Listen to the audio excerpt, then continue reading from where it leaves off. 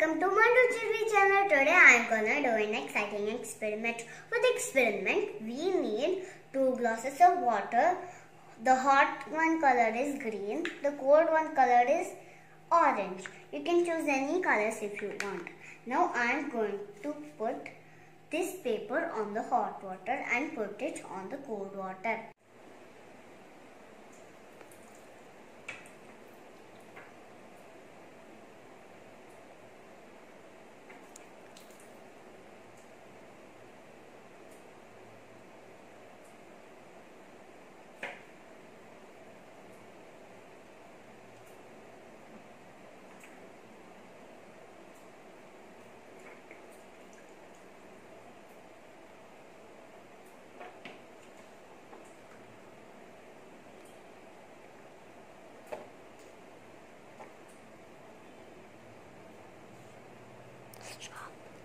Cold water is more density, so that's why it's down.